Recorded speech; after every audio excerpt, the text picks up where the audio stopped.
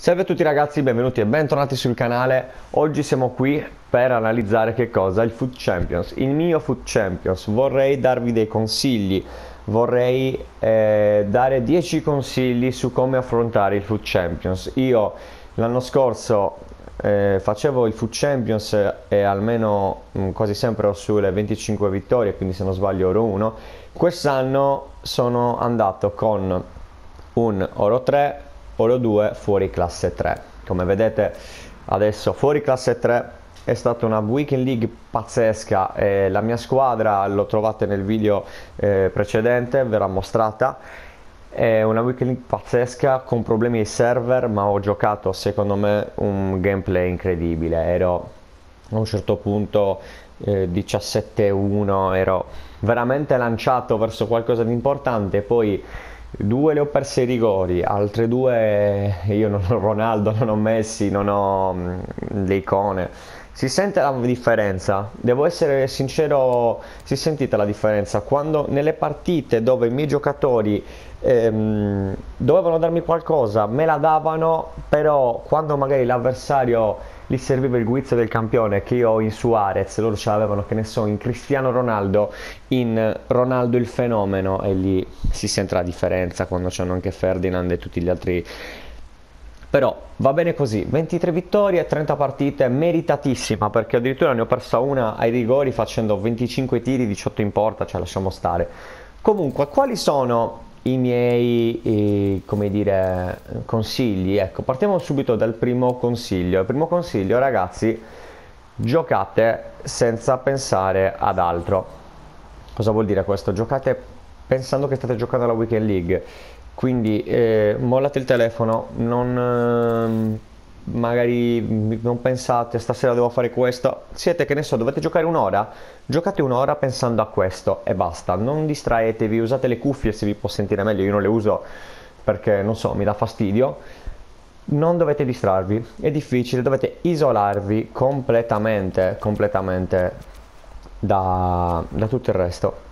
Secondo consiglio imparate a capire quando state perdendo nel senso siete in striscia positiva, avete vinto 12 partite di fila, ne vincete una è sudata, ci può stare, la seconda la perdete e la terza la perdete, lì fermatevi. Magari avete perso solamente con un gol di scarto e, e è andata bene ugualmente per voi, dovete fermarvi. Vi fermate 10-15 minuti, poi riprendete. Ragazzi, veramente è fondamentale una cosa del genere perché vi ricaricano, sono quei 10-15 minuti che vi ricaricano mentalmente, magari poi siete anche un po' arrabbiati e state tranquilli. Fidatevi, cambierete completamente il modo di vedere la Weekend League. Terzo consiglio, terzo consiglio, ragazzi, eh, molti non, non sono favorevoli, io uso molto molto le forme fisiche. C'è da fare un investimento, terzo consiglio quindi è i vostri giocatori devono avere sempre con un 94 più di forma fisica. Non so, ehm, molti magari sentendo questo consiglio diranno eh, ma cosa vuol dire, lo facciamo sempre? No, perché molta gente nella foga di giocare le partite si dimentica che magari entra un campo, in campo con, che ne so, un Suarez con 85-88 di forma fisica e fidatevi che poi alla lunga si sente. Fidatevi, io lo sento nel gioco dopo il sessantesimo inizia a crollarti il mondo. Quarto consiglio, dicono molto spesso di giocare eh, di prima mattina. Io vi dico no, giochiamo dopo pranzo. Perché dopo pranzo? Perché ehm, magari la mattina non siete sufficientemente concentrati a fare quello. Nel senso, magari che ne so, andate a scuola, lavoro e tutto, voi volete appunto godere eh, le partite dopo pranzo, giocate dopo pranzo perché mentalmente potreste essere più concentrati che magari spararvi quelle 5-6 partite dopo un caffè appena svegli. È molto difficile riprendere la concentrazione, invece dopo pranzo la mattina è già iniziata, avete già iniziato la vostra giornata, siete già belli cattivi, secondo me potreste fare molto bene. Quinto consiglio, il più banale dei consigli. Non sperimentate in Weekend League. Abbiamo le Division Rivals, giocate quelle. volete sperimentare una squadra, volete capire Division Rivals, se volete capire il livello più o meno uguale, veramente uguale il livello, non è che cambia molto, cioè addirittura in certe partite in Division Rivals sono molto più forti i giocatori, da quello che ho visto io. Non sperimentate niente in Weekend League, non sperimentate nulla, veramente, non serve a niente. Se siete arrabbiati non mettetevi a vendere la squadra, cercare, fare Ragazzi, aspettate, aspettate, la squadra verrà fuori, ma non sperimentate in Weekend League.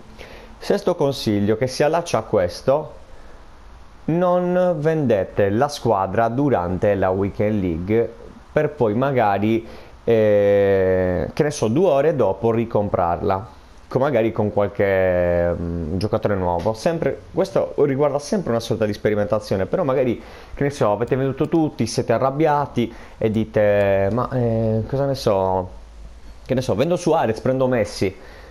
Poi magari sempre, state sempre sperimentando, poi magari non, vi, non sapete usare Messi e dovete ritornare a Suarez, quindi state sperimentando due volte e non c'entra niente. E oltretutto eh, non è sempre detto che la colpa sia della squadra. Sponsor server, magari non siete in forma voi, ve ne accorgerete.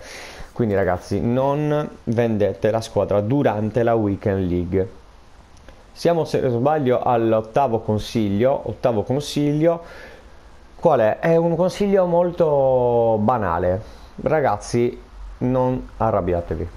Veramente, io mh, mm, ho fatto questa Weekend League arrabbiandomi una volta, ma arrabbiandomi con me stesso perché perdo i rigori, completamente io perdo sempre i rigori. Non dovete arrabbiarvi, se siete arrabbiati, molto arrabbiati, smettete di giocare, smettete veramente di giocare. Se siete anche in, in striscia positiva, avete vinto 15, vittorie, 15 partite consecutive, perdete una, 1-0 e siete neri dalla rabbia, per voi avete finito, giocate domani, giocate tra 10 ore, fate quello che... non giocate più, perché vi potrebbe capitare un episodio uguale alla partita che avete appena giocato, cosa fate? Finisce lì la, la vostra weekend league, magari vi hanno fischiato un rigore che secondo voi non c'è nella, come quello della partita precedente, tiltate, persa anche quella. Sono errori da non fare. Non ho consiglio, ragazzi miei, imparate a usare più moduli imparate a usare più moduli, dovete costruire la vostra squadra per tutte le esigenze, avete le tattiche personalizzate, mettetevi 4 moduli, 4 schemi diversi, non potete mettervi che ne so un 4-4-2, poi un 4-4-2-2, poi buh, un altro 4-4-2 o sempre un modulo a 4, dovete svariare. Io ho due forme di 4-2-3-1 perché uno è più difensivo, l'altro mi piace di più, un modulo stretto e un modulo sempre stretto con gli esterni. Dovete avere delle varianti perché in questa Weekend League si deve essere bravi a capire dove, con quale modulo poter eh, eh, far male all'avversario. Non potete, che ne so, avere il 4-3-3, ripeto, e le, tutte le varianti del 4-3-3. No. Poi magari vi va bene, però un'alternativa di livello la dovreste avere. Decimo consiglio, abbiate pazienza. Nel senso, molti giocatori quando iniziano le partite vengono puniti dal solito kick-off glitch, eccetera, eccetera, magari squadre più forti e magari prendiamo subito gol e lì eh, tiltiamo, diciamo cavolo è già finita. Abbiate pazienza. Io ho rimontato per andare in fuori classe una partita che perdevo 3 a 1 3 a 2, 3 a 3 ho fatto, mi hanno fatto i 4 a 3, 5 a 4, 5 a 5, 6 a 6 ho fatto al 118esimo. Perché questo vi dico? La partita non è finita. Ovvio, io non ho mai rimontato 5 gol. 4 sì, perdevo 4 a 0, 5 a 4 e 4 pari poi lo vinto rigori. Ehm, quando prendete 2 gol, ricordatevi che l'avversario pensa sempre psicologicamente di, di aver vinto la partita di aver vinto la partita, voi dovrete essere più bravi di lui. Quando lui vince, quando noi stiamo vincendo, abbassiamo la guardia, non giochiamo bene, non cerchiamo il terzo gol, siamo lì leziosi, lo farà anche il vostro avversario. Tranquilli che è così. In quel momento, ricordatevi, quando voi continuate a giocare, essere concentrati, trovate magari il 2-1, lui ha quasi già perso la partita perché il pareggio è lì vicino il pareggio lì vicino. Se invece voi prendete il 2-0 e iniziate a rosicare, eh, cercare 1-2 veloci, vi snaturate, non giocate magari più, che ne so, col vostro possesso palla, non, cercate subito il gol, quindi tiri da ogni posizione, avete perso, avete perso la partita. Non, dovrete, non dovete mai mollare veramente perché tutto si può ribaltare. Io penso che non si possa ribaltare solo un 5-0 a fine primo tempo. Poi ho visto video di pro, ragazzi, video di pro fare questo e soprattutto vi do un piccolo consiglio extra eh, se volete imparare a difendere oggi non ve lo posso far vedere perché non è abilitato andate sul Champions Channel guardatevi i numeri 20 30 40 al mondo controllate come difendono c'è l'opzione per vedere cosa usano con il controller e guardate come difendono che tasti usano imparate. Io ho imparato tanto guardando ehm, alcuni giocatori come ehm, The Stranger, sì, The Stranger, Principe, guardo molto i suoi replay, comunque c'è pieno ragazzi, almeno tu, secondo me potete guardare anche la top 100, però comunque tutti quelli che fanno 29 sono da guardare, hanno, imparate tantissimo, questo è un consiglio extra che io vi do. E niente ragazzi, siamo arrivati alla fine del video, ci vedremo noi giovedì per eh, i premi fuori classe 3 Division Rivals, speriamo di di scurare, speriamo tanto. Noi ci vediamo presto, ciao a tutti ragazzi.